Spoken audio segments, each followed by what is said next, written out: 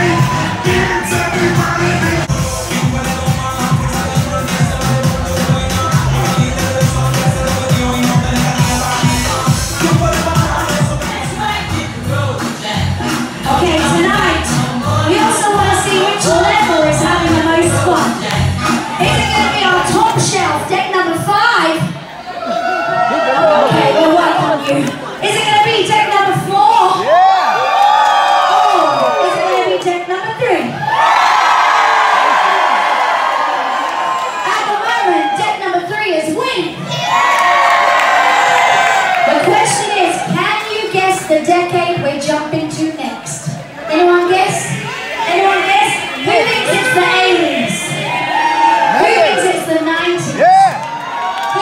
the 70s.